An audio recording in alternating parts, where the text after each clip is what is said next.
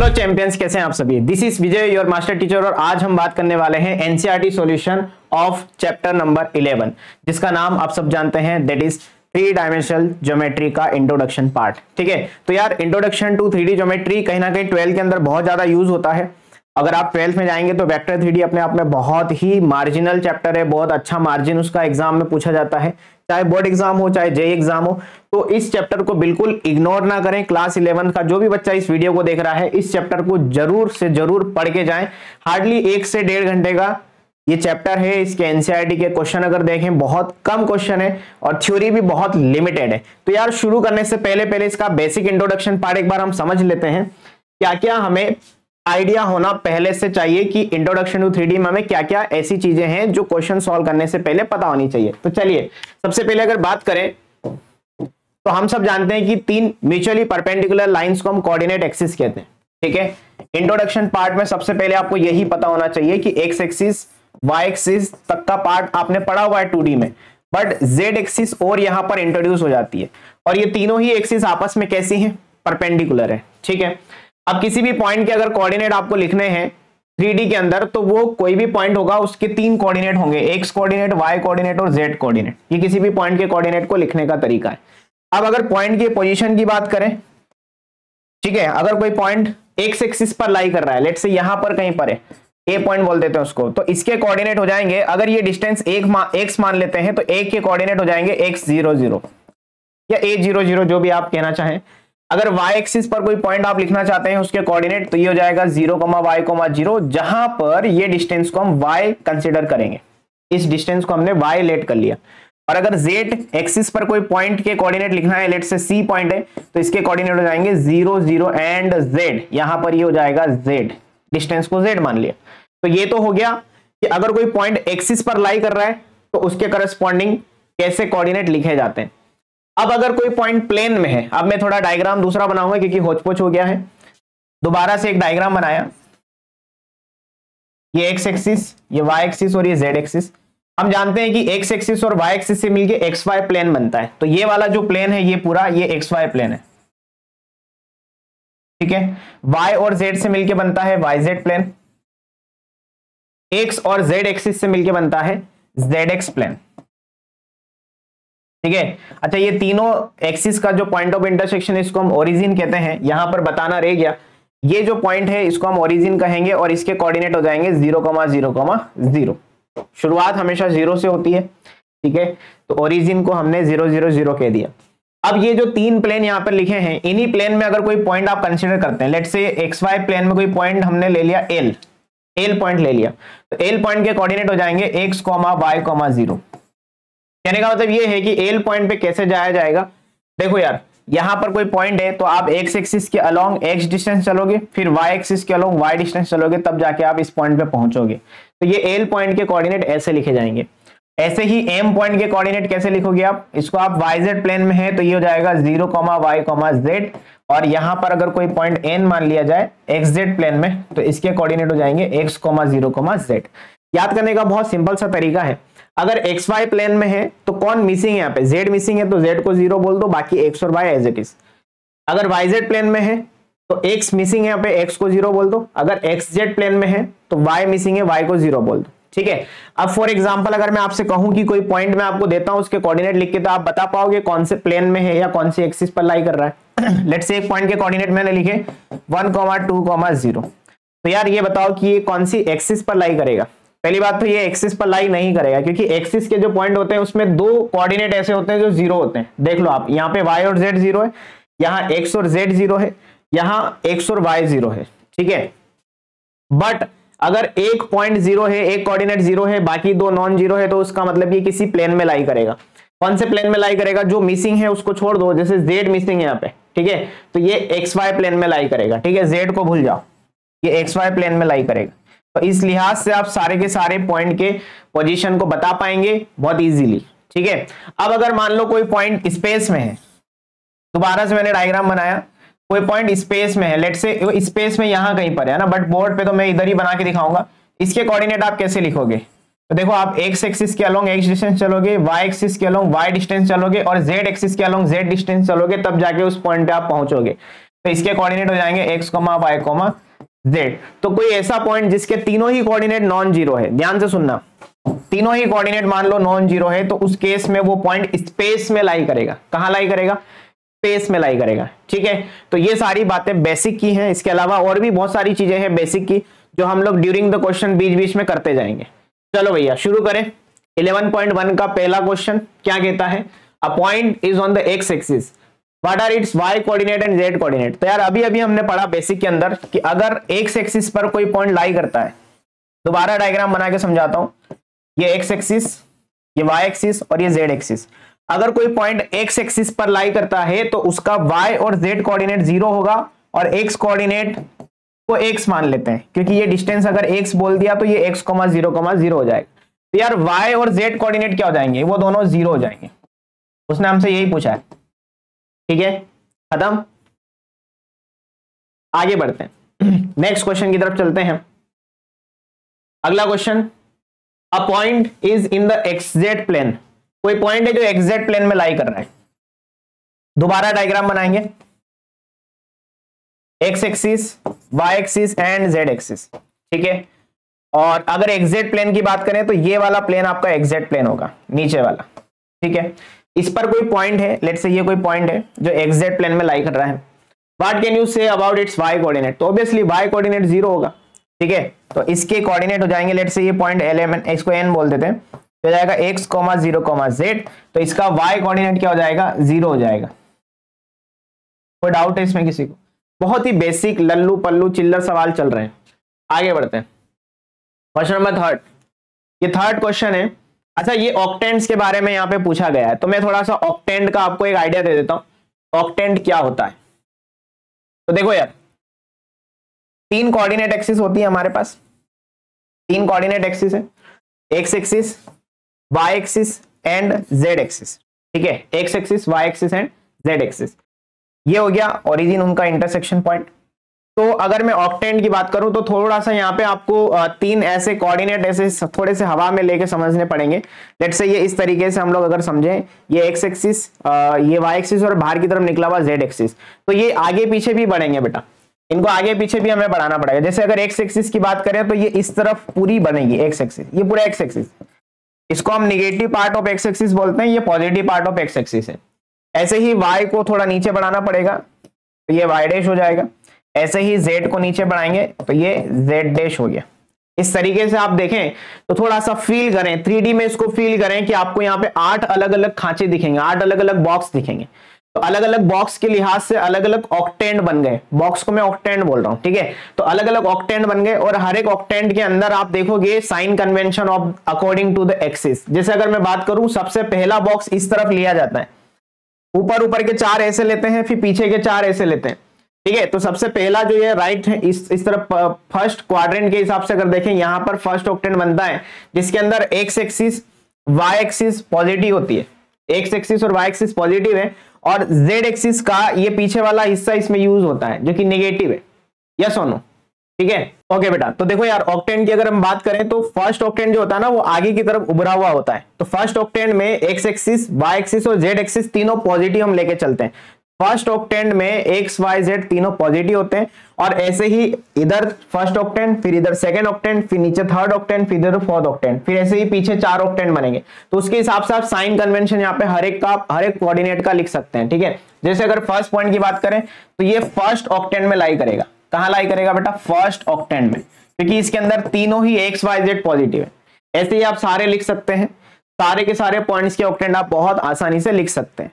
ठीक है, आगे चलते हैं। अगला क्वेश्चन क्वेश्चन नंबर फोर्थ अब ध्यान से समझना, ये फिलिंग द ब्लैंक्स टाइप का क्वेश्चन है।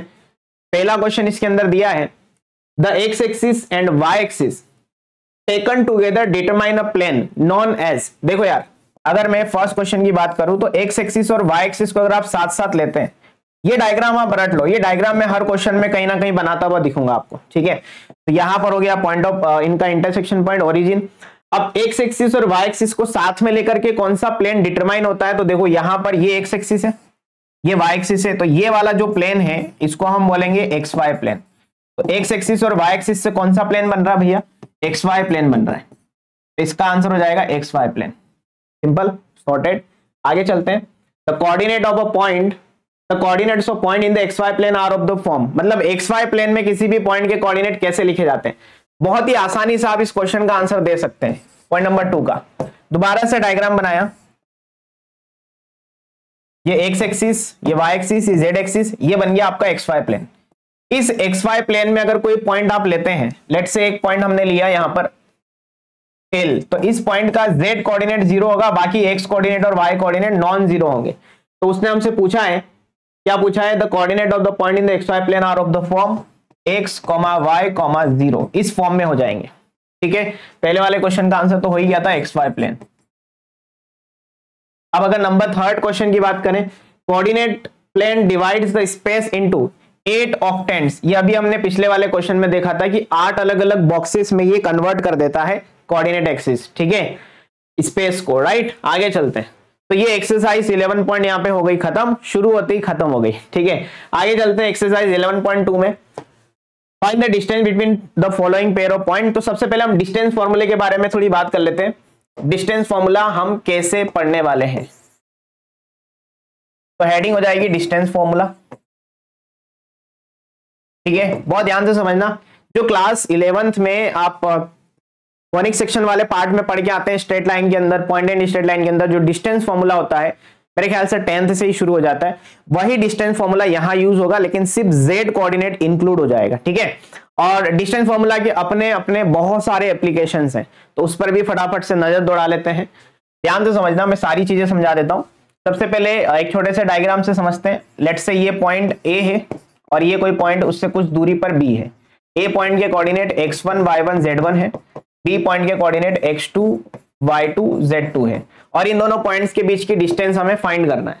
ठीक है? तो दोनों पॉइंट्स के बीच की डिस्टेंस फाइंड करने का फॉर्मूला हो जाएगा ए बी बराबर root over x two minus x one का whole square plus y two minus y one का whole square plus z two minus z one का होल स्क्र दैट्स इट ये हो गया फॉर्मूला सबसे पहला जो आपको याद रखना है, ये पार्ट अगर हटा दो तो ये पोर्शन आपने पढ़ा हुआ है। ये पोर्शन आपने देखा हुआ है। ठीक है? ओके पुरानी क्लास में हमने देखा ये डिस्टेंस फॉर्मूला इस तरीके से बनता है। अब इसी के बहुत सारे एप्लीकेशन है। ये फ़र्स्ट पार्ट मान लेते हैं इसको सपोज़ अब सेकेंड पार्ट किसी पॉइंट की लेट से एक पॉइंट स्पेस में ले लेते हैं। X axis y axis z axis ये ओरिजिन हो गया। जिसके कोऑर्डिनेट ज़ीरो ज़ीरो ज़ीरो और कोई एक पॉइंट पी कंसिडर करते हैं स्पेस के अंदर, जिसके कोऑर्डिनेट एक्स वाई जेड ले लेते हैं। तो किसी पॉइंट पी की जो कि स्पेस के अंदर लाई कर रहा है ओरिजिन से डिस्टेंस कैसे लिखी जाती है? तो ओरिजिन से डिस्टेंस का फॉर्मूला ओपी हो जाएगा रूट ओवर इसी फॉर्मूले का ये एप्लीकेशन है, इसी फॉर्मूले से बन रहा है।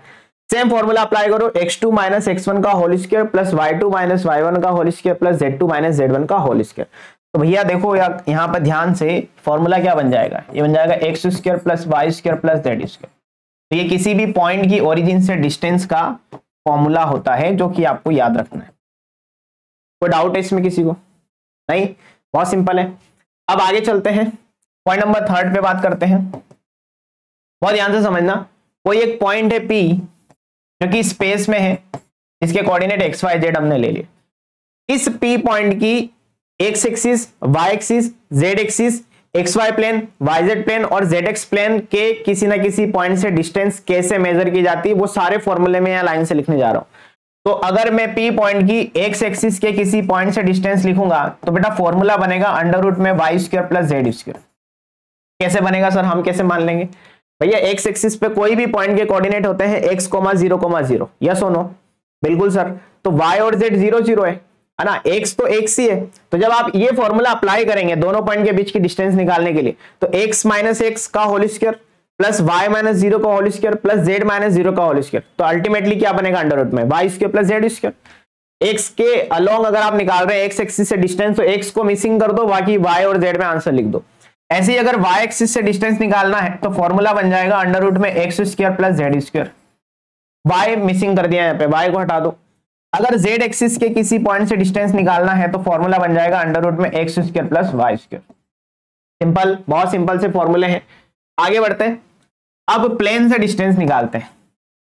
मान लो, इसी P पॉइंट की एक्स वाई प्लेन से डिस्टेंस बताना है। तो यार एक्स वाई प्लेन का कोई भी पॉइंट का कोऑर्डिनेट क्या होता है? X comma y comma zero distance formula लगाओगे तो एक्स और वाई निपट जाएँगे। अंडर रूट में जेड का स्क्वायर बचेगा, जो कि बाहर निकलेगा तो मॉड ऑफ़ जेड हो जाएगा। क्या बन जाएगा? मॉड ऑफ़ जेड अगर वाई जेड प्लेन से डिस्टेंस निकालना है, देखो यार, याद करने का तरीका भी सिखाते चलता हूँ साथ साथ अगर एक्स वाई प्लेन से इस पॉइंट की डिस्टेंस निकालना है तो एक्स और वाई को इग्नोर कर दो, जो जेड कोऑर्डिनेट है, उसमें मोड लगा के बाहर लिख दो। वाई जेड प्लेन से डिस्टेंस निकालना है तो आपके बार एक्स यहाँ पर मिसिंग है तो मॉड ऑफ़ एक्स आंसर आ जाएगा। जेड एक्स प्लेन से डिस्टेंस निकालना है तो आंसर हो जाएगा मोड ऑफ़ वाई इस पूरे का स्क्रीनशॉट ले लेना, ये बहुत इंपॉर्टेंट फॉर्मूले हैं, जो आपको अभी क्वेश्चन के दौरान काम आने वाले हैं। चलो भैया तो शुरू करें। डिस्टेंस निकालना है, आओ एक एक करके सारे क्वेश्चनों को निपटाते हैं। पहला क्वेश्चन थोड़ा डायरेक्ट करेंगे बेटा, है ना? चलो, पहला क्वेश्चन है तो मैं थोड़ा इतमान से समझा देता हूँ सारी चीज़ें बेसिक से। डिस्टेंस बिटवीन टू पॉइंट्स निकालना है। तो पहला क्वेश्चन अगर हम करने जा रहे हैं तो इसको हम x1 y1 z1 और इस पॉइंट के कोऑर्डिनेट को x2 y2 z2 असाइन कर देंगे। ये असाइन कर दिया हमने। अब बस डिस्टेंस फॉर्मूला लगा दो सीधा सीधा तो भैया देखो फॉर्मूला अगर देखा जाए, इसको ए मान ले, इसको बी मान ले तो ए बी के बीच की डिस्टेंस का फॉर्मूला होता है अंडर रूट में x two minus x one का whole square plus y two minus y one का whole square plus z two minus z one का होल स्क्र यही होता है फॉर्मूला बिल्कुल सर यही होता है। तो ए बी के बीच की डिस्टेंस हो जाएगी रूट ओवर ये रहा एक्स टू ये रहा एक्स वन तो हो जाएगा फोर माइनस टू का होल स्क्र प्लस पहला क्वेश्चन है, मैं बेसिक से सारी चीज़ें समझा रहा हूँ, बाकी वो तीनों क्वेश्चन अपन उड़ा देंगे direct y two minus y one का होल स्क्र मतलब थ्री माइनस थ्री का whole square plus z two minus z one का whole square that is one minus five का होल स्क्र सिंपल है। आ जाओ, कैलकुलेट करते हैं अब। तो ये बन जाएगा, देखो ध्यान से, four minus two is nothing but two two का स्क्र हो जाएगा four. Plus three minus three zero हो जाएगा, ज़ीरो का स्क्वायर ज़ीरो होगा, उसको लिखेंगे नहीं। One minus five is minus four और माइनस फोर का स्क्वायर हो जाएगा प्लस में सिक्सटीन ठीक है? तो बेटा सोलह और चार बीस मतलब कि रूट ओवर ट्वेंटी आपका आंसर आ जाएगा। पीछे यूनिट ज़रूर लगाएँ। इस रूट ट्वेंटी को आप टू रूट फाइव भी लिख सकते हैं। ठीक है? ऐसा भी लिख सकते हैं। पीछे यूनिट ज़रूर लगाएँ, क्योंकि डिस्टेंस की कोई ना कोई तो यूनिट रही होगी। मीटर सेंटीमीटर किलोमीटर कुछ तो रहा होगा। तो उस लिहाज से आप आंसर दे देंगे। चलो अभी, आगे चलते हैं। अब सेकंड क्वेश्चन की तरफ़ बात करते हैं। अब थोड़ा डायरेक्ट करेंगे। X one y one z one x two y two z two को अप्लाई कर दो, बस वहाँ पे असाइन कर दो। X one y one z one x two y two z two assign कर दिया। अब लगा दिया डिस्टेंस फॉर्मूला ठीक है? आ जाओ भाई डिस्टेंस फॉर्मूला लगाते हैं। तो फॉर्मूला हो जाएगा लेट से ये पॉइंट ए है, वो पॉइंट बी है तो दोनों पॉइंट के बीच की डिस्टेंस हो जाएगी root over two minus minus three का whole square plus four minus seven का whole square plus minus one minus two का होल स्क्र ऐसा कुछ हो जाएगा? बिल्कुल सर। तो ए बी हो जाएगा बेटा रूट ओवर। ध्यान से देख लो माइनस इंटू माइनस प्लस होता है, ठीक है? माइनस इंटू माइनस प्लस होता है तो ये हो जाएगा two plus three, that is five five का square twenty five. Plus four minus seven is minus का थ्री, माइनस थ्री का स्क्वायर करेंगे तो नाइन हो जाएगा। Plus minus one minus two मिलकर माइनस थ्री हो जाएगा, माइनस थ्री का स्क्वायर फिर से नाइन हो जाएगा। बेटा ए बी आ जाएगा हमारे पास फाइनली पच्चीस और अठारह। ये हो जाएगा आठ पाँच तेरह फोर्टी मतलब root over forty three unit हमारा आंसर आ जाएगा। कोई कैलकुलेशन हो तो प्लीज़ इसमें देख लेना। मिस्टेक अगर हो जाए तो सुधार लेना। ठीक है? आगे चलते हैं। थर्ड क्वेश्चन पे बात करते हैं।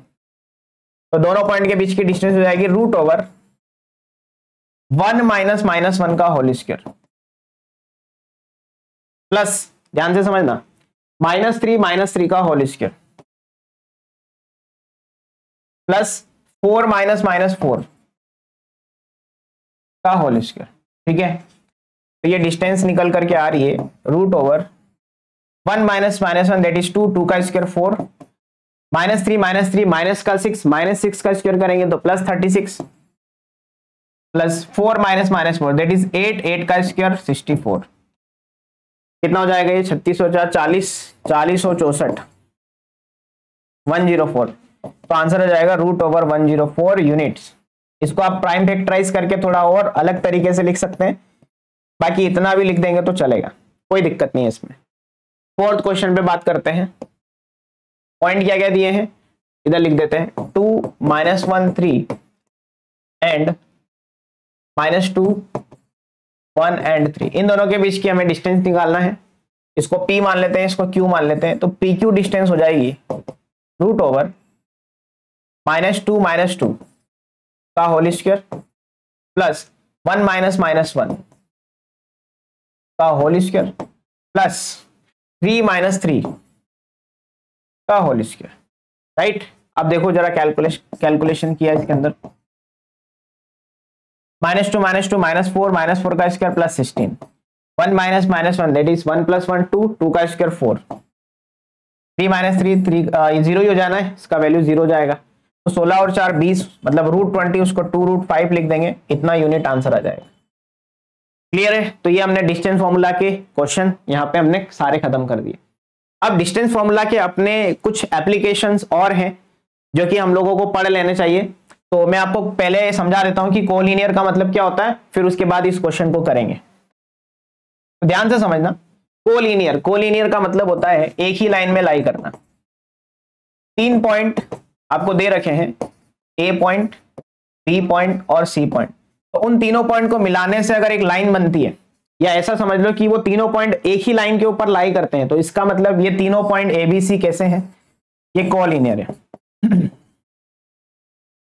ये पॉइंट्स कैसे हैं? कोलिनियर है। ठीक है? अब कंडीशन क्या है कोलिनियरिटी की, जो कि डिस्टेंस फॉर्मूला से हमें समझनी है? कि देखो यार, यहाँ पर ए पॉइंट से लेकर के बी पॉइंट के बीच की जो डिस्टेंस है, वो आप कैलकुलेट कर लो। लेट से ये कोई डिस्टेंस आ जाएगी, कुछ भी आ जाएगी, जो भी आप मानना चाहें वो मान लें। फिर आपने बी से लेके सी के बीच की डिस्टेंस निकाल ली फिर आपने ये ऑब्ज़र्व किया कि ए से लेके बी के बीच तक की जो डिस्टेंस है, वो और बी से लेके सी तक के बीच की जो डिस्टेंस है, उन दोनों का जो एडिशन है वो ए से लेकर के सी के बीच की डिस्टेंस के बराबर आ रहा है। मान लो ये डिस्टेंस पी है, ये डिस्टेंस क्यू है स्मॉल क्यू ले लेते हैं, और ये डिस्टेंस आर है तो p plus q is equal to r आ रहा है। तो उसका मतलब यहाँ पर पॉइंट्स कैसे होंगे? कोलिनियर होंगे। दो डिस्टेंस का सम तीसरी के बराबर आता है मतलब पॉइंट्स कोलिनियर होते हैं। ये हमेशा याद रखें। ठीक है? तो डिस्टेंस फॉर्मूला से हम पहले दो दो पॉइंट के बीच की डिस्टेंस निकालेंगे, फिर देखेंगे कि किन दो पॉइंट्स के बीच की डिस्टेंस तीसरे के बराबर आ रही है। आओ चलो, फटाफट से करते हैं इसको। लेट से ये ए है, ये बी है और ये सी है। तो हम ए से बी के बीच की डिस्टेंस निकालते हैं। थोड़ा डायरेक्ट करेंगे, ठीक है? तो हमने निकाला one minus minus two that is one plus two three का square nine two minus three minus one का square one three minus five minus two का स्क्वायर फोर तो ये हमने कैलकुलेट कर लिया। कितना आता है जरा ये देखो एक बारी। ये आ रहा है हमारे पास रूट फोर्टीन आ रहा है। कितना आ रहा है? रूट फोर्टीन यूनिट्स इतना कुछ आ जाएगा ये। अब हम बी से लेके सी के बीच की डिस्टेंस निकालते हैं, ठीक है? बी पॉइंट से लेकर के सी पॉइंट के बीच की डिस्टेंस तो ये हो जाएगा seven minus one that is six six का square thirty six zero minus two minus two का स्क्वायर फोर हो जाएगा। Minus one minus three four four का स्क्वायर हो जाएगा सिक्सटीन अब देखो जरा ये कितना आता है। सोलह और चार, बीस बीस और छत्तीस, छप्पन हो जाएगा रूट छप्पन। चौदह चौके छप्पन मतलब टू रूट फोर्टीन लिख सकते हैं इसको हम।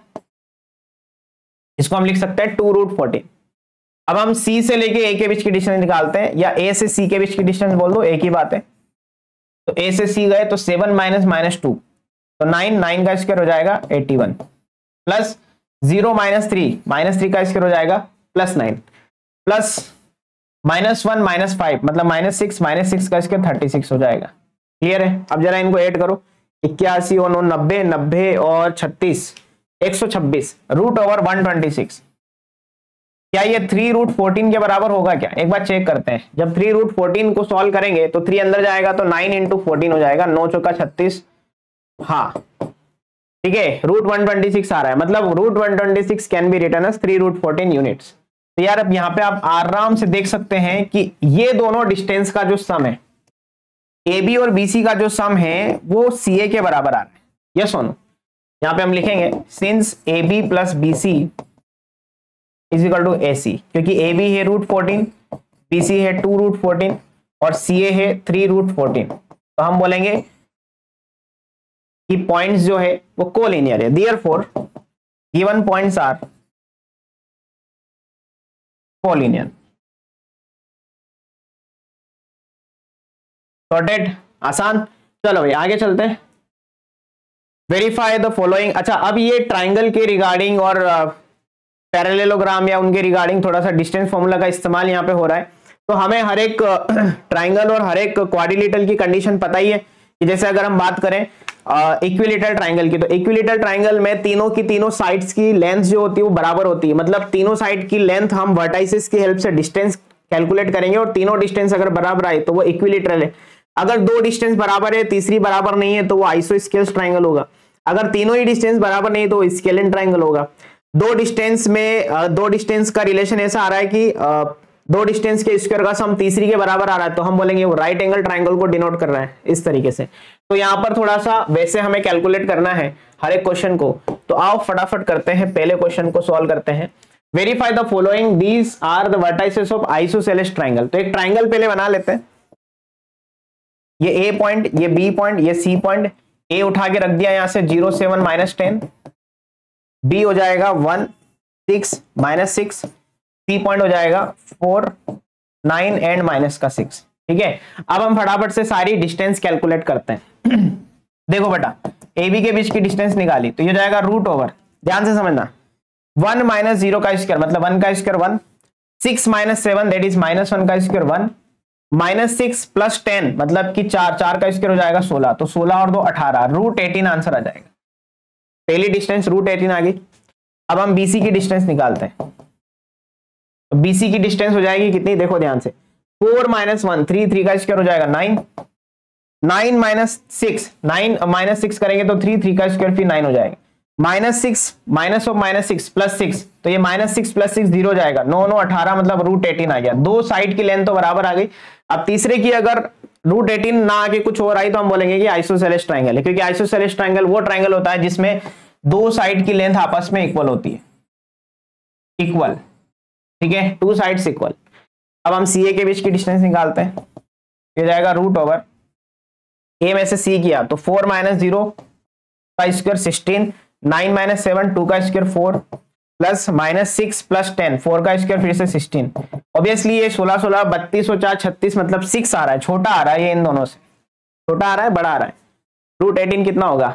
Root fourteen root sixteen four हाँ छोटा, बड़ा आ रहा है बेटा सिक्स बड़ा आ रहा है। जो भी आ रहा है मतलब अलग अलग आ रहा है। यहाँ पे हम बोलेंगे सिंस ए बी बराबर B C but not equal to C है तो यहाँ पर दिख रहा है क्लियरली कि दो साइड की लेंथ बराबर है तीसरी से इक्वल नहीं है। तो हम बोलेंगे कि ये इसके पॉइंट से और ये हमने वेरीफाई करना था वेरीफाई हमने कर दिया। आगे चलें अगले क्वेश्चन की तरफ़। सेकेंड क्वेश्चन हमारे सामने स्क्रीन पे है। इस बार हमें बताना है कि ये राइट एंगल ट्राइंगल के वर्टाइसेस है। तो पहले एक ट्राइंगल बनाते हैं। ठीक है? और उसके तीन वर्टेक्स ले लेते हैं। अब मुझे यहाँ नहीं पता कि कौन सा वर्टेक्स कहाँ बैठेगा। मुझे बिल्कुल नहीं पता। बट मैं कंडीशन जानता हूँ कि अगर बेस का स्क्वायर प्लस परपेंडिकुलर का स्क्वायर बराबर हाइपोटेनिस का स्क्वायर आया तो हम बोलेंगे कि ये राइट एंगल ट्राइंगल के वर्टाइसेस है। ठीक है? तो मैं यहाँ पे पॉइंट असाइन नहीं कर रहा हूँ। मैं सीधा सीधा पहले डिस्टेंस कैलकुलेट करूँगा। लेट्स से ये ए पॉइंट हो गया, ये बी पॉइंट हो गया और ये सी पॉइंट हो गया। तो हम ए बी के बीच की डिस्टेंस निकालेंगे। ये हो जाएगा रूट ओवर ए बी हो जाएगा माइनस वन माइनस ज़ीरो का मतलब वन का स्क्वायर वन हो गया। सिक्स माइनस सेवन वन का square one six minus ten four का स्क्वायर सिक्सटीन तो ये रूट एटीन आ जाएगा। अब हम निकालेंगे बीसी बीसी की लेंथ कितनी आएगी बेटा? देखो बी और सी किया? तो four minus minus one minus four minus one minus four plus one three का square nine nine minus six three का square nine six minus six zero हो जाएगा। तो nine plus nine root eighteen आ गया। और सी ए के बारे में अगर बात करें ए और सी के बीच की डिस्टेंस चार में से ज़ीरो गया तो सोलह। अरे, चार में से ज़ीरो गया तो चार चार का स्क्वायर सोलह, ऐसे। भावनाओं को समझना। नाइन माइनस सेवन टू का square four six minus ten four four कितना आ रहा है? हाँ फोर का स्क्वायर सिक्सटीन तो सोलह सोलह, बत्तीस, चार, छत्तीस, ऐसा कुछ आ रहा है सिक्स आ रहा है। अब यार, पिछले क्वेश्चन में भी ऐसा ही कुछ था बट कई बार ऐसा देखा गया है कि isosceles triangle right angle triangle का एक केस है या ये दोनों में से कोई एक दूसरे से रिलेट करता है। बट यहाँ पे फ़िलहाल ये देखो कि इन दोनों लेंथ का स्क्वायर का अगर आप सम करते हैं, ध्यान से समझना ए बी का स्क्वायर प्लस बी सी का स्क्वायर करते हैं आप तो क्या ये सी ए के स्क्वायर के बराबर आता है? ये चेक करना है हमें। ठीक है? मतलब यहाँ ए यहाँ बी और यहाँ सी हंड्रेड परसेंट था, तभी ये हाइपोटेनिस बना, ये परपेंडिकुलर और ये बेस ठीक है? तो क्लियरली दिख रहा है कि रूट एटीन का होल स्क्वायर करेंगे तो एटीन आएगा। इसका भी वैल्यू 18 आ जाएगा और 6 का स्क्वायर होगा जाएगा 36 तो 36 बराबर 36 आता हुआ दिख रहा है क्लियरली इसका मतलब हैंस ये जो पॉइंट्स है, ये वेरीफाई हो गए हैं कि ये राइट एंगल ट्राइंगल के वर्टाइसेस आगे बढ़ते हैं। अगला है, अब हमें चार वर्टाइसेस दिए हैं और हमें ये वेरीफाई करना है कि पैरेलेलोग्राम के वर्टेक्स हैं। तो हम लोग यहाँ पे क्या करेंगे, एक छोटा सा पैरेलेलोग्राम बना लेते हैं कलर चेंज कर लेते हैं। छोटा सा एक पैरेलेलोग्राम बनाते हैं। लेट से ये A B C and D A के कोऑर्डिनेट यहाँ से उठा के रख देते हैं minus one two one B के कोऑर्डिनेट हो जाएगा one minus two and five C के कोऑर्डिनेट हो जाएँगे four minus seven and eight. और डी के हो जाएँगे two, minus three and four. ऐसा कुछ हो जाएगा? अब ध्यान से समझना। यहाँ पर इसके वो भी बना लो डायगोनल भी बना लो, क्योंकि कंडीशन पता होनी चाहिए। पैरेलेलोग्राम में आमने सामने की साइड की लेंथ बराबर होती है। मतलब ए डी बराबर बीसी आना चाहिए एंड ए बी बराबर कितना आना चाहिए? डीसी आना चाहिए। और पैरेलेलोग्राम के डायगोनल अनइक्वल होते हैं। तो ये भी आपको ध्यान रखना है। पहला डायगोनल कौन सा है? A C is not equal to B D होना चाहिए। ये कंडीशन फॉलो होनी चाहिए। मतलब अगर आप डिस्टेंस फॉर्मूला की बात करें तो आपको एक, दो, तीन, चार, पाँच, छह छह बार डिस्टेंस फॉर्मूला लगाना है। लगाना ही पड़ेगा। ठीक है? आओ चलो निकालते हैं फिर सारी डिस्टेंस पहले ए डी के बीच की डिस्टेंस निकालते हैं। ए डी ये वाली डिस्टेंस निकाल रहे हैं। तो ये जाएगा root over two minus minus one three का square nine minus three, minus two, five five का स्क्वायर ट्वेंटी फाइव, माइनस को इग्नोर कर देना बेटा। फोर माइनस वन, थ्री का स्क्वायर नाइन। कितना जाएगा? नौ नौ, अठारह और पच्चीस। अठारह प्लस पच्चीस, आठ, पाँच, तेरह, दो, तीन चार। रूट फोर्टी थ्री हो जाएगा ये। Root forty three. ठीक? अब बीसी निकालते हैं बीसी वाली लेंथ बीसी की लेंथ कितनी हो जाएगी? फोर माइनस वन, थ्री का square nine. Seven minus two, five का square twenty five. Eight minus five, three का स्क्वायर नाइन हो जाएगा। कितना हो गया? नौ नौ, अठारह और पच्चीस। सेम आ गया बेटा रूट फोर्टी थ्री मतलब आमने सामने की साइड तो बराबर ही है। अब हम निकाल देंगे ए बी और सी डी ए बी की लेंथ निकालेंगे पहले।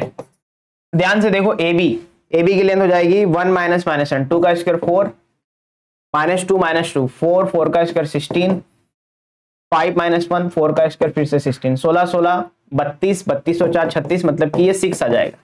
ए बी की लेंथ आ गई बेटा सिक्स ठीक? अब हम निकालेंगे सी डी की लेंथ हो जाएगा root over four minus two का स्क्वायर मतलब टू का स्क्वायर फोर अरे क्या कर दिया? अरे अरे अरे, एक minute four minus two two का स्क्वायर फोर हो जाएगा बेटा। सिक्सटीन लिख दिया, जोश जोश। सेवन माइनस थ्री कितना जाएगा? फोर फोर का स्क्वायर हो जाएगा, फिर से सिक्सटीन अगले वाले का लिख दिया था क्या?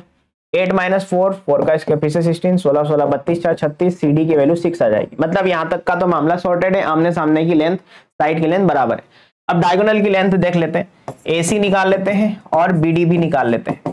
देखो यार A C A C A C A C four minus minus one five का square twenty five under root के अंदर।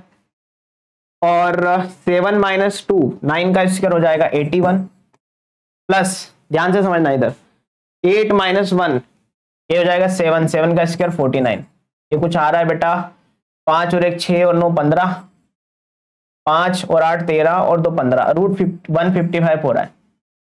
देख लेंगे, कोई भी कैलकुलेशन मिस्टेक हुई होगी तो। बीडी से पता चल जाएगा।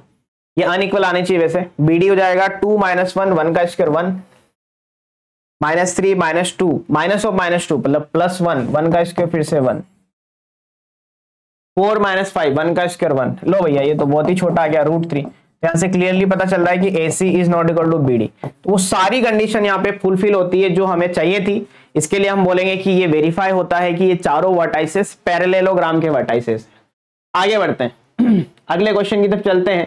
Find the equation of the set of point which are equidistant from this two point okay तो कंडीशन के हिसाब से अगर चले तो एक पॉइंट ऐसा मान लो, P जिसके coordinate x y z let कर लिए हमने, और ये दो पॉइंट से इक्विडिस्टेंट है। ये पॉइंट ए बोल दिया, ये पॉइंट बी बोल दिया। ए के कोऑर्डिनेट हो जाएँगे वन टू थ्री बी के कोऑर्डिनेट हो जाएँगे three two and minus one तो यार सामने वाले ने ये कहा है कि पी ए बराबर पी बी है तो उस हिसाब से आप एक सेट ऑफ़ पॉइंट्स निकाल के बता दो। ठीक है? सेट ऑफ़ पॉइंट्स का मतलब एक लोकस हमें बताना है। क्या बताना है? लोकस बताना है। ठीक है? सेट ऑफ़ पॉइंट्स का मतलब होता है लोकस ठीक है? तो बताते हैं कंडीशन के हिसाब से पी ए बराबर पी बी लेके चलेंगे। दोनों तरफ़ स्क्वेयरिंग भी कर दो, क्योंकि अंडर रूट तो हटाना ही है डिस्टेंस फॉर्मूला लगेगा तो। अंडर रूट हट गया, भैया क्या कर रहे हो? अंडर रूट तो हटा दिया हमने। पी ए पी ए हो जाएगा एक्स माइनस वन का whole square plus y minus two का whole square plus z minus three का whole square equal to P B अगर पी बी की बात करें तो ये जाएगा एक्स माइनस थ्री का whole square plus y minus two का whole square plus z plus one का होल स्क्र अब बेटा a प्लस बी का होल स्क्र और a माइनस बी का होल स्क्र हर बच्चे को आता होगा। मैं ये मान के चल रहा हूँ। वो लगाना है हर जगह यहाँ पे। हर जगह पर आपको वो लगाना है। बट लगाने से पहले आप ये ऑब्ज़र्व कर लो कि ये दोनों तो सेम टर्म से कैंसिल हो जाएँगे। काट दो उनको पहले। और कुछ है क्या इसमें? और कुछ नहीं है। तो जो कुछ भी बच रहा है सब ओपन कर दो। इसको ओपन करेंगे। A square plus B square minus का टू ए बी ये ओपन किया। A square plus B square minus का टू ए बी इसको ओपन किया। A square plus B square minus का two A B A square plus B square plus का two A B कोई गड़बड़ हो तो देख लेना। एक्स स्क्र से एक्स स्क्र जेड स्क्र से जेड स्क्र कैंसल और कुछ है जो कट रहा है? और कुछ नहीं है। वन से वन और काट दो। वन से वन कट रहा है। नाइन से नाइन भी कट रहा है। जो बच रहा है वो सब आपका लोकस है। तो माइनस सिक्स एक्स इधर बुला लिया तो ये हो जाएगा प्लस का फोर एक्स। उधर से और कौन आ जाएगा? टू जेड इधर जाएगा। तो माइनस का eight z is equal to zero.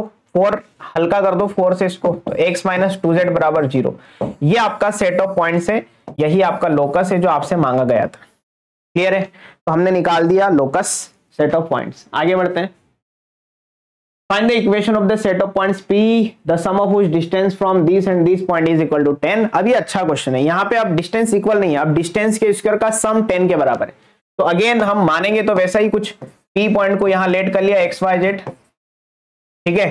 और p पॉइंट से इधर a पॉइंट इधर b पॉइंट a पॉइंट के कोऑर्डिनेट हो जाएँगे four zero zero p point के कोऑर्डिनेट हो जाएँगे माइनस का फोर ज़ीरो ज़ीरो ठीक? अब ये डिस्टेंस और ये डिस्टेंस के स्क्वायर का सम स्क्वायर का सम नहीं। द सम ऑफ़ उस distances from this two point is equal to ten मतलब सामने वाले ने बोला है कि P A plus P B की वैल्यू टेन है। ठीक है? P A plus P B ten है। तो अब यहाँ पे थोड़ा समझदारी से होल स्क्वायर करना पड़ेगा। ठीक है? समझदारी से काम करना पड़ेगा। तो पी ए कितना हो जाएगा? पी ए हो जाएगा बेटा आपका पी से ए की डिस्टेंस हो जाएगा एक्स माइनस फोर का whole square plus y minus zero का whole square z minus zero का whole square plus PB PB कितना हो जाएगा यहाँ से? पीबी की अगर बात करें तो ये हो जाएगा x minus minus four that is equal to x plus four का whole square plus y square plus z square is equal to ten दिया हुआ है क्वेश्चन के अंदर। ठीक है? अब आपको यार दोनों तरफ़ स्क्वेयरिंग करनी पड़ेगी। क्या करनी पड़ेगी? स्क्वेयरिंग और स्क्वेयरिंग भी एक बार से काम नहीं चलेगा, दो बार करना पड़ेगा। पहले एक बार करते हैं। जब आप एक बार स्क्वेयरिंग करोगे तो ये बन जाएगा A square plus B square plus two A B तो टू ए बी में फिर से वापस आपके पास अंडर रूट की टर्म्स बनेंगे। तो एक काम करते हैं, इसको उधर ले जाके करते हैं। करना तो खैर दो ही बार है अपने को। इसको उधर ले जाके करते हैं, ठीक है? तो स्क्वेयरिंग कर ही दिया समझो मैंने। चलो लिख देते हैं पहले। एक्स माइनस फोर का whole square plus y square plus z square का under root is equal to ध्यान से समझना इधर, हो जाएगा टेन माइनस अंडर रूट के अंदर। एक्स प्लस फोर का whole square plus y square plus z square अब आप कर दो दोनों तरफ़ स्क्वेयरिंग। ब्रैकेट लगाया स्क्र कर दिया, ब्रैकेट लगाया स्क्र कर दिया। अब जब आप स्क्वेयरिंग करेंगे तो इस तरफ़ तो अंडर रूट हट जाएगा बट इस तरफ़ टू ए बी की टर्म्स में फिर से अंडर रूट आएगा। देखेंगे, निपट लेंगे उसको पहले। यहाँ अंडर रूट हटा तो क्या बचा? ये बचा। इसको ओपन करते हुए लिख रहा हूँ मैं। A square plus B square minus का two A B plus y square plus z square as it is ठीक है? A square plus B square plus two A भी लिख दिया। सॉरी माइनस का टू ए भी लिखना था। माइनस का लिखा ना? हाँ माइनस का एट एक्स इस तरफ़ अगर देखें तो ए स्क्र मतलब टेन का स्क्र प्लस बी स्क्र करेंगे तो इसका होल स्क्र खुलेगा। और उसमें भी एक्स प्लस फोर का होल स्क्र ओपन ही कर दिया मैंने। तो ये मैंने A square plus B square लिखा। अब टू ए बी लिखेंगे। टू इंटू टेन मतलब ये जाएगा ट्वेंटी इंटू बी कितना है? एक्स प्लस फोर का whole square plus y square plus z square ऐसा कुछ है राइट अब देखो, कुछ कैंसिल वैंसल हो रहा है, उसको काटा कोटा कर दो। X square y square z square से पूरा कट गया। अब जो कुछ भी अच्छा सिक्सटीन से सिक्सटीन भी कट रहा है एट एक्स को इधर बुला लो। एट एक्स को इस तरह बुला लो टेन का स्क्र भी इधर आ जाएगा। तो ये हो जाएगा माइनस का एट एक्स माइनस का हंड्रेड और उधर से प्लस का एट एक्स आया तो ये माइनस का सिक्सटीन एक्स हो जाएगा माइनस कॉमन ले लिया। माइनस मैंने कॉमन ले लिया। और माइनस का फोर कॉमन आ रहा है एक्चुअली माइनस फोर कॉमन ले लेते हैं। तो सिक्सटीन और हंड्रेड से फोर कॉमन ले लिया माइनस फोर बाहर आ जाएगा। तो यहाँ पच्चीस और यहाँ चार बचेगा। ऐसा कुछ आ जाएगा, ठीक है? इज़ इक्वल टू कितना चल रहा है? Twenty times of under root के अंदर एक्स प्लस फोर का whole square plus y square plus z square अब ये फोर से काटा, बीस को पाँच बार, अब दोनों तरफ़ दोबारा स्क्वेयरिंग कर दिया। फिर से दोबारा ये फाइव को लेते हुए, है ना फाइव को अंदर रखना है बेटा। फिर से स्क्वेयरिंग कर दिया। जब स्क्वेयरिंग करोगे अच्छा इधर माइनस को भी अंदर रखना है। माइनस को भी अंदर रखना है, ठीक है? तो माइनस का स्क्वायर प्लस हो जाएगा। ये four four x plus twenty five का होल स्क्वायर बचेगा, जिसको ओपन करेंगे तो A square plus B square plus two A B पच्चीस चौका सौ दूना दो सौ two hundred x equal to five का स्क्वायर ट्वेंटी फाइव और इस तरफ़ अंडर रूट हटा। A square plus B square plus two A B plus y square plus z square बचेगा। कैलकुलेशन थोड़ी हाई फाई है इसके अंदर बट कर लेंगे, निपट लेंगे, कोई दिक्कत नहीं है। Sixteen x square plus six twenty five plus two hundred x is equal to twenty five x square यहाँ पर बचेगा वाई स्क्वायर को पहले लिख देते हैं। Twenty five y square twenty five z square plus पच्चीस आठ है, दो सौ टू हंड्रेड एक्स और फोर का square sixteen into twenty five इधर करते हैं ट्वेंटी फाइव इंटू सिक्सटीन सोलह पंजा अस्सी सोलह दो ना बत्तीस और चालीस ये फोर हंड्रेड हो जाएगा। ये कैलकुलेशन हटा देना। ठीक है? अब सबको एक तरफ़ ले जाओ। सिक्सटीन एक्स स्क्र उधर गया तो सोलह और नौ पच्चीस। नाइन एक्स स्क्र बचेगा। Twenty five y square twenty five z square as it is इनका काम तमाम हो गया। टू हंड्रेड एक्स से टू हंड्रेड एक्स कैंसिल हो रहा है। बहुत बढ़िया। सिक्स ट्वेंटी फाइव उधर जाएगा फोर हंड्रेड के पास। तो जाएगा माइनस का two twenty five equal to zero ये ऐसा कुछ आपका सेट ऑफ़ पॉइंट्स आ जाएगा। ठीक है, कोई कैलकुलेशन मिस्टेक हो तो प्लीज़ चेक कर लेना। अच्छी खासी कैलकुलेशन करवा ली हमसे यहाँ पे। राइट तो ये हो गई हमारी एक्सरसाइज 11.2 कंप्लीट अब बात करते हैं मिसलेनियस एक्सरसाइज पर। इसके क्वेश्चन क्या कहते हैं वो समझते हैं। अच्छा three vertices A parallelogram A B C D are A B C दिया है। Find the coordinate of the fourth vertex okay इस सवाल को समझने से पहले एक छोटी सी बात आपको समझनी चाहिए। और वो बात ये है कि सपोज़ कोई पैरेललोग्राम है लेट से ये A B C D parallelogram है, और इसके दो डायगोनल है, पहला ये वाला और दूसरा ये वाला।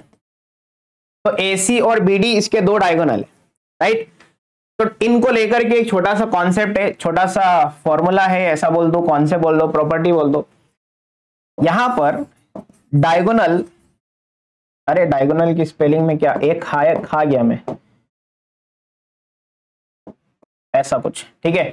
डायगोनल ए बी और ए सी जो है ए बी ए सी नहीं ए सी और ए डी जो है diagonals A C and B D are bisect to each other इसका क्या मतलब है? ये कंडीशन है जो आपको याद रखनी है हमेशा, ठीक है?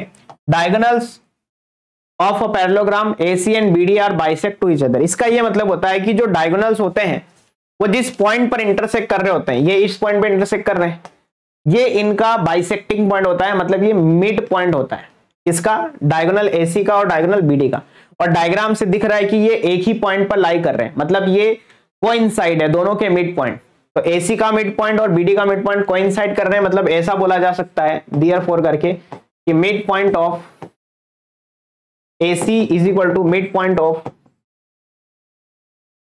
BD बस ये कंडीशन याद रखो, ठीक है? इससे आपका सवाल सोल्व हो जाना है। आओ चलो, सवाल पे चलते हैं। ये आपको चार, तीन वर्टेक्स दिए चौथा निकालना है। तो पहले डायग्राम बना लेते हैं। डायग्राम बनाते हैं। ए के कोऑर्डिनेट कितने हैं? Three minus one and two B के कोऑर्डिनेट कितने दिए हैं?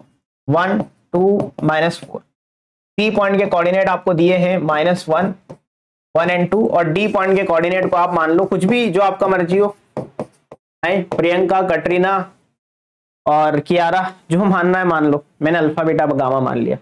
अब ये बना दिया हमने पहला डायगोनल एसी और ये बना दिया मैंने दूसरा डायगोनल बीडी और मुझे पता है कि डायगोनल के जो मिड पॉइंट है वो कोइंसाइड करेंगे diagonal are bisect to each other तो अब कई सारे बच्चों को मिड पॉइंट फॉर्मूला नहीं पता होगा, वो बता देता हूँ पहले मैं। कई सारे बच्चे हैं इस तरह के, उनको नहीं पता होता है। मिड पॉइंट फॉर्मूला क्या है? ये सेक्शन फॉर्मूला का एक वन ऑफ़ द केस होता है, ठीक है? जैसे सपोज़ दो पॉइंट को ज्वाइन करने वाला कोई लाइन सेगमेंट है। ये लाइन सेगमेंट मैंने बना दिया। ए के कोऑर्डिनेट मान लो x one y one z one B के कोऑर्डिनेट हमने मान लिए x two y two and z two इस लाइन सेगमेंट पर कहीं बीच में बीच में, कहीं बीच में नहीं एग्जैक्ट बीच में, कहीं बीच में नहीं एग्जैक्ट बीच में एक पॉइंट है लेट से सी पॉइंट है, जिसके coordinate x comma y comma z है। तो ये एग्जैक्ट बीच में है मतलब ये सी जो है, इस लाइन सेगमेंट ए बी का मिड पॉइंट है। लाइन सेगमेंट ए बी का क्या है, ये मिड पॉइंट है। तो इस मिड पॉइंट के कोऑर्डिनेट कैसे निकालते हैं? अरे अरे अरे। तो इस मिड पॉइंट का एक्स कोऑर्डिनेट कैसे निकाला जाता है बेटा? X one plus x two by two करते हैं। X one plus x two by two कर दिया। मतलब एक तरीके से एवरेज निकाल दिया। मीन निकाल दिया। वाई कोऑर्डिनेट कैसे निकालेंगे? Y one plus y two upon two z हो जाएगा z one plus z two upon two इस तरीके से निकाला जाता है। स्क्रीनशॉट ले लेना, बहुत काम का फॉर्मूला है। आ जाओ भैया, अब यहाँ पे हमें वो कॉन्सेप्ट लगाना है। ठीक है, वो कॉन्सेप्ट हमें यहाँ पे लगाना है। तो हम लिखेंगे mid point of A C बराबर mid point of B D हम ए सी और बी डी के मिड पॉइंट निकाल लेते हैं। तो ए सी का मिड पॉइंट कितना हो जाएगा? दोनों को जोड़ो टू से डिवाइड लगा दो। पहले ए सी का निकालते हैं। Mid point of AC mid point of AC तो ये जाएगा three plus minus one by two ये एक्स कोऑर्डिनेट आ गया। अब वाई निकालते हैं। एक ही जगह निकाल रहा हूँ सारे में। Minus one plus one by two minus one plus one by two comma, तीसरा हो जाएगा two plus two by two. ठीक है? तो जरा देखो ये कितना आता है। Three minus one, two by two, one हो जाएगा। ये ज़ीरो हो जाएगा और ये two plus two, four by two two हो जाएगा। तो one zero two, mid point of AC आ गया। अब हम निकालते हैं mid point of, mid point of BD. ठीक है? बीडी का मिड पॉइंट कैसे निकलेगा? दोनों के एक्स कोऑर्डिनेट को जोड़ो, टू से डिवाइड लगा दो। ये जाएगा alpha plus one by two, comma, beta plus two by two, and gamma plus minus का फोर डिवाइडेड बाय टू। ये हो गया बीडी का मिड पॉइंट अब इन दोनों को हमें इक्वल करना है। ठीक है? तो वन ज़ीरो टू को इक्वेट करेंगे उस कोऑर्डिनेट के साथ, उस पॉइंट के कोऑर्डिनेट के साथ तो alpha plus one by two. Beta plus two by two और gamma minus four by two. ठीक है? इन दोनों को इक्वेट करो। एक्स को एक्स से कंपेयर किया। Alpha plus one by two compare हो जाएगा वन के साथ। वाई को वाई से कंपेयर करेंगे। बीटा प्लस टू कंपेयर किया ज़ीरो के साथ। जेड को जेड के साथ कंपेयर किया तो gamma minus four by two हो जाएगा कंपेयर टू के साथ। राइट बस इसको सॉल्व कर लो। यहाँ से क्रॉस मल्टीप्लाई किया। तो अल्फ़ा प्लस वन बराबर टू तो अल्फ़ा की वैल्यू वन आ जाएगी। यहाँ से बीटा आ जाएगा माइनस का टू, यहाँ से गामा आ जाएगा एट। बेटा, जो चौथा वर्टेक्स है हमारा dear four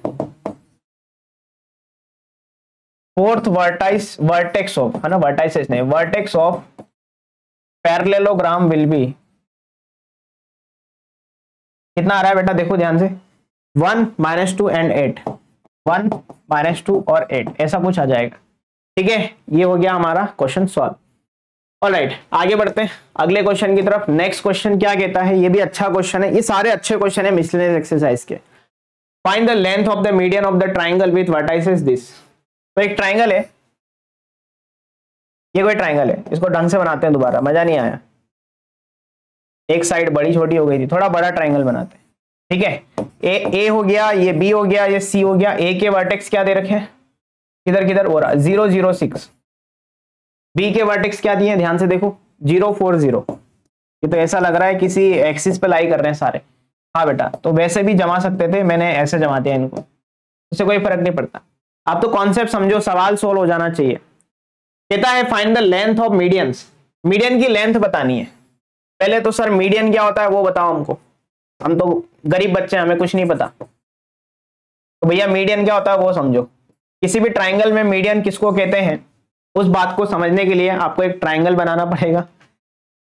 ट्राइंगल में कोई भी एक वर्टेक्स पकड़ लो। टोटल कितने वर्टेक्स यहाँ पे? तीन है। एक, दो और तीसरा यहाँ पे। कोई भी वर्टेक्स पकड़ लो। और उस वर्टेक्स से सामने वाली साइड पर एक लाइन खींचो। ऐसे। ये मैंने लाइन खींच दी। जब मैंने लाइन खींची तो ये पाया गया कि ये सामने वाली साइड को बाइसेक्ट कर गई। क्या कर गई? बाइसेक्ट बाइसेक्ट मतलब दो बराबर हिस्सों में काट गई। थोड़ा इसको ढंग से बनाते हैं। बीच में दिख नहीं रही है एग्जैक्ट थोड़ा टेढ़ा बनेगा ऐसे ऐसे।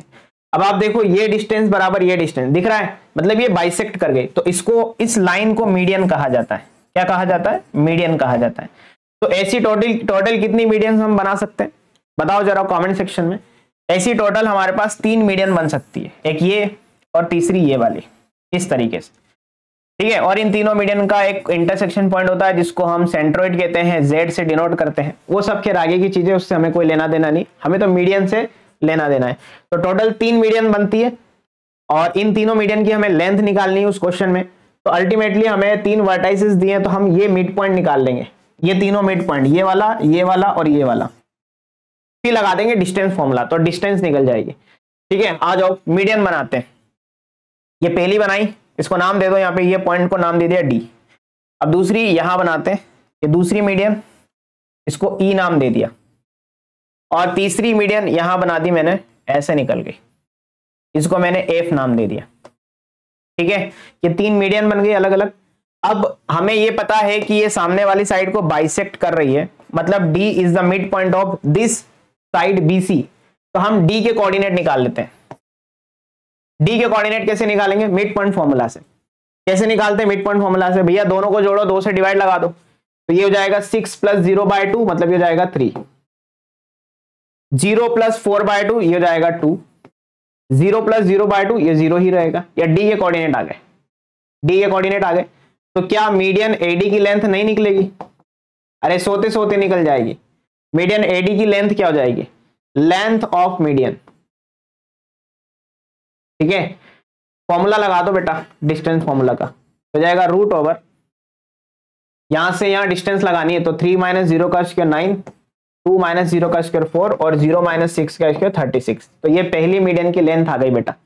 नौ और चार तेरह और छत्तीस उनपचास होता है तेरह और छत्तीस, छह और तीन, नौ हाँ। मतलब ये सेवन आ जाएगा। एडी की लेंथ हो जाएगी सेवन यूनिट्स ये पहला आंसर आ जाएगा बेटा। ये पहला आंसर ठीक है? अब ऐसे ही आप ई e पॉइंट के कोऑर्डिनेट निकाल लो। ई e पॉइंट के कोऑर्डिनेट क्या हो जाएँगे? किधर गया? ये रहा। Six plus zero by two mid point formula लगा रहे हैं तो थ्री हो जाएगा। Zero plus zero by two zero हो जाएगा। Zero plus six by two ये फिर से थ्री हो जाएगा।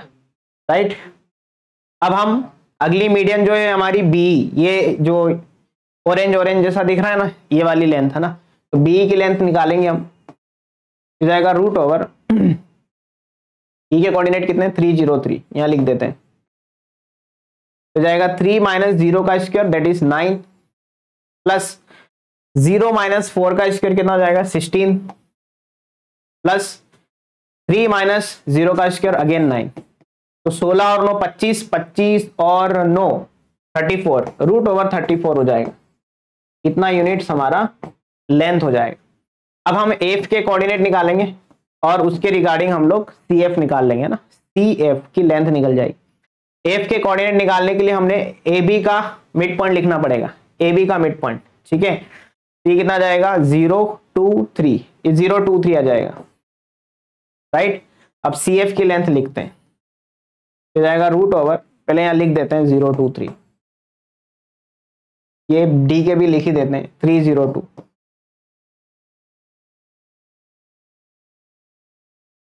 right? आ जाओ भैया। सी एफ़ लिखाना है तो ये हो जाएगा सिक्स माइनस ज़ीरो का square that is thirty six plus zero minus two का स्क्वायर मतलब four plus zero minus three का स्क्वायर दैट इज़ नाइन तो नौ और चार, तेरह और छत्तीस, उनपचास मतलब ये वापस से सेवन यूनिट्स हो गया। तो ये हमने सारी की सारी मीडियन की लेंथ निकाल दी। कोई कैलकुलेशन मिस्टेक हो तो प्लीज़ चेक कर लेना। बाकी कॉन्सेप्ट मैंने आपको हंड्रेड परसेंट दे दिया है। ठीक है? आगे चलते हैं। अगला क्वेश्चन क्या कहता है? ध्यान से देखो, अगला क्वेश्चन कहता है, if the origin is the center of the triangle PQR with vertices this this this, then find the values of ABC अब सेंट्रोइड का कॉन्सेप्ट आ गया, जो कि पिछले क्वेश्चन में हमने मीडियन से सीखा भी था, दोबारा से सिखाता हूँ। एक ट्राइंगल बना लो। ये कोई ट्राइंगल हो गया एबीसी इसकी तीन मीडियन बनाओ। ये पहली मीडियन ये दूसरी मीडियन और ये हो गई तीसरी मीडियन ठीक है? ये तीन मीडियन हो गई। ये तीनों मीडियन जिस पॉइंट पर इंटरसेक्ट कर रही होंगी, उसको हम बोलते हैं सेंट्रॉइड क्या बोलते हैं? सेंट्रॉइड ऑफ़ ट्राइंगल इसको जी से डिनोट करते हैं। किससे? जी से। अब इस जी के कोऑर्डिनेट कैसे निकालते हैं? वो समझना, वो सबसे इंपॉर्टेंट है। लेट से ए के कोऑर्डिनेट है x one y one z one ये लेट कर लिया हमने। ये क्वेश्चन के अंदर आपको गिवन मिलेंगे। बी के कोऑर्डिनेट मान लेते हैं x two y two z two C के कोऑर्डिनेट हमने लेट कर लिए x three y three and z three ठीक है? इसमें कोई डाउट किसी को? नहीं? अब जी जो सेंट्रोइड है, उसके कोऑर्डिनेट हम कुछ और मान लेते हैं। मान लो अल्फ़ा बीटा गामा ये हमने जी के कोऑर्डिनेट मान लिए। तो सबसे आसान फॉर्मूला होता है सेंट्रोइड के कोऑर्डिनेट निकालने का, जिसको ध्यान से समझना। आप अगर मान लो आपको सेंट्रोइड का पहला कोऑर्डिनेट निकालना है दैट इज़ अल्फ़ा तो अल्फ़ा निकालने का फॉर्मूला होता है x one plus x two plus x three divided by three ठीक? कैसे आया? कैसे याद रखेंगे? कुछ नहीं करना है। तीन जो वर्टेक्स दिए हैं, तीनों के एक्स कोऑर्डिनेट को ऐड करो डिवाइडेड बाय थ्री कर दो। उससे आपको सेंट्रोइड का एक्स कोऑर्डिनेट मिल जाएगा। तो ऐसे ही समझ गए अगर अगर आप तो फिर वाई कोऑर्डिनेट मतलब बीटा और गामा आप बहुत इजीली निकाल सकते हैं। तो बीटा हो जाएगा y one plus y two plus y three divided by three और गामा हो जाएगा z one plus z two plus z three divided by three इसका प्लीज़ स्क्रीनशॉट ले लेना, ठीक है? का स्क्रीनशॉट ले लेना, ये काम आएँगे फॉर्मूले सारे। ओके चलो भैया, अब हम चलते हैं हमारे सवालों की तरफ़। अगला सवाल ये जो हमारा सेंट्रोइड वाला है, इसको खत्म करते हैं। क्वेश्चन में बोला है डायग्राम बना लेते हैं पहले, एक ट्राइंगल बनाया। ए बी और सी कहता है if the origin is the centroid लो भैया ओरिजिन सेंट्रोइड है, सामने वाला सेंट्रोइड चल के बोल रहा है।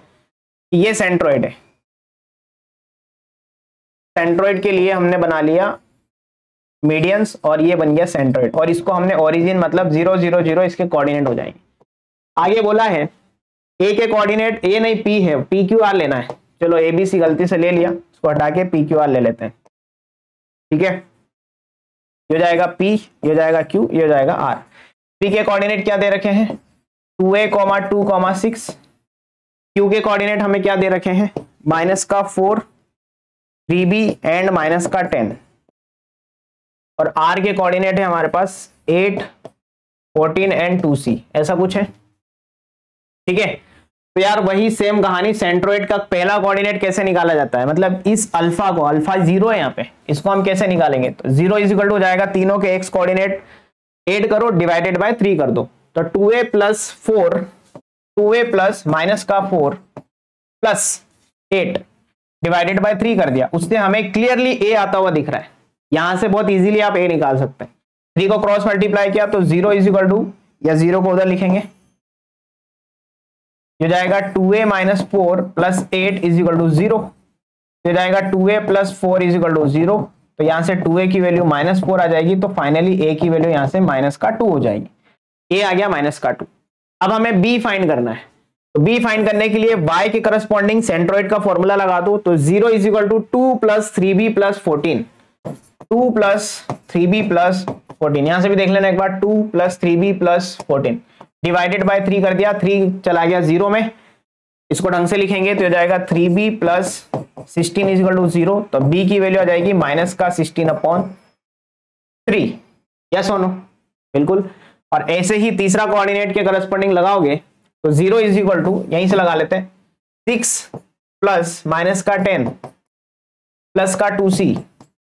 Divided by three three गया ज़ीरो में तो सिक्स माइनस टेन प्लस का two c is equal to zero तो टू सी माइनस का four is equal to zero तो टू सी की वैल्यू फोर तो सी की वैल्यू यहाँ से टू आ जाएगी. सी की वैल्यू कितनी आ गई? टू आ गई. तो हैंस ए आ गया आपके पास माइनस का टू बी आ जाएगा आपके पास माइनस का सिक्सटीन अपॉन थ्री और सी कितना आ रहा है? सी प्लस का टू आ रहा है. सी प्लस का टू आ रहा है? हाँ सी प्लस का टू आ गया. और ये आपका आंसर हो गया. क्लियर है सबको? आगे बढ़े, अगले क्वेश्चन की तरफ़। Next question if a and b be the point, respectively, find the equation of the set of point p such that this equal to अच्छा ये क्वेश्चन तो अभी हमने किया भी था, वो सम टेन आ रहा था, वैसा कुछ सेट ऑफ़ पॉइंट वाला। सेट ऑफ़ पॉइंट्स का मतलब लोकस निकालना है। तो इस कंडीशन को फॉलो करते हुए हमें चलना है और सेट ऑफ़ पॉइंट्स निकालना है, ठीक है? पी ए का स्क्वायर पी को लेट कर लो। पी लेट कर लो एक्स वाई जेड पी हमने लेट कर लिया, ठीक है? पी अननोन है हमारे लिए ना पी कोई वेरिएबल पॉइंट है, ठीक है? पी ए का स्क्वायर ये ए मान लिया तो ये जाएगा एक्स माइनस थ्री का whole square plus y minus four का whole square plus z minus five का होल स्क्वायर और अंडर रूट हट जाएगा बेटा, क्योंकि पी ए का होल स्क्वायर दिया है उसने प्लस पी बी का होल स्क्वायर तो पी से बी की डिस्टेंस हो जाएगा एक्स प्लस वन का whole square plus Y minus three का whole square plus Z plus seven का होल स्क्वायर इजिकल टू के स्क्वायर लो भैया, अब यहाँ से करना क्या है? इनको सॉल्व करना है और आपस में इनको सॉल्व करके आंसर लिख देना है। चलो इनको फटाफट से सबको ओपन कर देते हैं। तो इसको ओपन करेंगे तो जाएगा A square plus B square minus का टू ए बी इसके बगल वाला हो जाएगा A square plus B square minus का टू ए बी इसके बगल वाला हो जाएगा A square plus B square minus का टू ए बी ठीक? उनके बगल वाले क्या हो जाएँगे? हो जाएगा A square plus B square plus two A B A square plus B square minus का two A B A square plus B square plus two A B और उस के स्क्र को उधर मत रखो, बेचारे को इधर ले आओ। क्योंकि सेट ऑफ़ पॉइंट्स का इक्वेशन बताना है मतलब इक्वल टू में ज़ीरो चाहिए हमें। अब एक्स स्क्र कितने हमारे पास? एक, दो। दो एक्स स्क्र है तो ये जाएगा टू एक्स स्क्र ऐसे ही टू वाई स्क्र ऐसे ही टू जेड स्क्र हो जाएगा। अब एक्स की टर्म्स को एड करो। माइनस का सिक्स एक्स प्लस का टू एक्स हो जाएगा माइनस का फोर एक्स वाई की टर्म्स को एड करो माइनस का एट वाई और माइनस का सिक्स वाई माइनस का फोर्टीन वाई हो जाएगा। जेड को ऐड करो माइनस का टेन जेड प्लस का फोर्टीन जेड हो जाएगा प्लस का फोर जेड अब कांस्टेंट को ऐड करो। प्लस का नाइन प्लस का सिक्सटीन सोलह और नौ पच्चीस और पच्चीस पचास पचास और एक इक्यावन इक्यावन और नौ साहठ साहठ और चालीस सौ और एक सौ नौ वन ज़ीरो नाइन प्लस में वन ज़ीरो नाइन माइनस का K square equal to zero. तो ये आपके पास सेट ऑफ़ पॉइंट्स आ जाएगा, जिसमें से आप टू को चाहें तो थोड़ा सा हल्का कर दे कॉमन लेके ज़ीरो में भेज दें। ठीक है? आगे बढ़ते हैं। चलिए भैया, ये वाली सारी बातें होती हैं यहाँ पे खत्म। तो अब थोड़ा सा काम की बात भी कर लेते हैं। आपके लिए वेदांतु क्या लेके आया एक बहुत ही सरप्राइजिंगली चीज़ आपके लिए लेके आया वेदांतु, जो कि है एमवी सेट आप में से कई सारे बच्चे ऑलरेडी जानते होंगे। सबसे पहले फुल फॉर्म की बात करें एमबी सेट का फुल फॉर्म है mega Vedantu scholarship admission test जो बच्चे, जो आने वाले एकेडमिक ईयर के अंदर एडमिशन लेना चाहते हैं वेदांतु में, चाहे वो ऑनलाइन चाहे वो ऑफलाइन है ना? वेदांतु के ऑफलाइन सेंटर भी बेटा आप खोलने वाले हैं, आप सबको अपडेट मिला ही होगा। तो आप पर्टिकुलर जिस भी सेशन में एडमिशन लेना चाहते हैं, वहाँ एडमिशन लेते वक्त ऑब्वियसली हर बच्चा देखता है कि मैं अपनी परफॉर्मेंस के बेसिस पे कोई स्कॉलरशिप मुझे मिल जाए। ऐसा कुछ फैसिलिटी मिल जाए। तो वेदांतु बेटा यही अपॉर्चुनिटी आपके लिए लेके आया है, जिसका नाम है एम सेट तो आप रजिस्टर कर सकते हैं डिस्क्रिप्शन बॉक्स में आपको लिंक मिल जाएगा। टेस्ट की डेट यहाँ पे लिख रखी है, आप ऑफलाइन एग्ज़ाम डेट दे सकते हैं ऑनलाइन भी दे सकते हैं ऑनलाइन भी दे सकते हैं, घर पे बैठ के। दोनों ही मोड में आप एग्ज़ाम दे सकते हैं, ठीक है? तो ये आप रजिस्टर कर लीजिए डिस्क्रिप्शन में लिंक आपको मिल ही जाएगा। साथ ही साथ आपको डेट यहाँ पे एग्ज़ाम की लिखी हुई है सेकंड थर्ड नाइन्थ और टेंथ दिसंबर ये सारी डेट में से, जो भी डेट आपको कंफर्टेबल लगे, उस डेट में आप चले जाइए एडमिशन देके आइए। ये फ्री ऑफ़ कॉस्ट है। स्कॉलरशिप एडमिशन टेस्ट हमेशा फ्री ऑफ़ कॉस्ट होता है। ठीक है? और उस एडमिशन टेस्ट में आपका जो भी स्कोर होगा, उसके बिहार पे आपको अलग अलग परसेंटेज में एक स्कॉलरशिप मिलेगी। और साथ ही साथ बहुत सारे आपके पास यहाँ पे इमर्जिंग गिफ्ट भी है, जो आपको मिलने वाले हैं। ठीक है? सिर्फ़ स्कॉलरशिप नहीं मिलेगी। स्कॉलरशिप के साथ साथ और भी सा, भाई बहुत सारे यहाँ पे गिफ्ट्स हैं जो आपको मिल सकते हैं। ठीक है? तो प्रिपरेशन कर लीजिए आपके पास अभी समय है। अच्छा खासा समय है आठ दस दिन का प्रिपरेशन कर लो और लग जाओ एग्ज़ाम देने में और अच्छे से अपनी स्कॉलरशिप को हासिल कर लो। ठीक है? तो क्या क्या यहाँ पे फीचर्स है मैं एक बार बता देता हूँ। क्या क्या आपको मिल सकता है? You can win a five day fully paid space research program ये बहुत बड़ी अपॉर्चुनिटी है कि आप स्पेस रिसर्च प्रोग्राम के पाँच दिन के उसमें जा सकते हैं। वो आपको एक अपॉर्चुनिटी दे रहा है वेदांतु। साथ ही साथ कोई अशोर्ट स्कॉलरशिप के साथ साथ up to hundred percent scholarship आपको मिल सकती है। अप टू हंड्रेड परसेंट मतलब कोई बच्चा ऐसा हो सकता है, बहुत ही एक्स्ट्रा ऑर्डनरी है तो उसके लिए भी सारे दरवाजे खुले ठीक है? इसके अलावा आप ड्रोन्स स्मार्ट डिवाइस या इसके अलावा और भी बहुत सारी इलेक्ट्रॉनिक्स चीज़ें हैं जो आप जीत सकते हैं। ठीक है? Get a three month free scholar subscription और Vedantu doubt app Vedantu doubt app का सब्सक्रिप्शन भी आपको मिल सकता है तीन महीने के लिए, ठीक है? Get all India rank and performance report ये भी आप लेंगे। साथ ही साथ, और क्या है? रजिस्टर नाउ फॉर फ्री अरे फ्री है भैया फ्री फ्री फ्री फ्री की चीज़ें कौन छोड़ता है? ठीक है? तो गोल्डन अपॉर्चुनिटी है, ठीक है? जिसके अंदर आपको स्कॉलरशिप मिल रही है साथ साथ कोई अश्योर्ड गिफ्ट भी मिल रहे हैं। तो क्या दिक्कत है? डिस्क्रिप्शन बॉक्स में जाओ, अभी के अभी, और जाकर के लिंक को क्लिक करो। और स्कॉलरशिप का एडमिशन फॉर्म भरो और जाके दे के आओ। ठीक है बच्चों? चलिए तो ये हमारी यहाँ पे होती सारी बातें खत्म। थ्री वाला पार्ट हमारा खत्म होता है। अगले लेक्चर में मिलते हैं। तब तक के लिए अपना ख्याल रखिए और अच्छे से पढ़ाई करते रहिए। Bye bye take care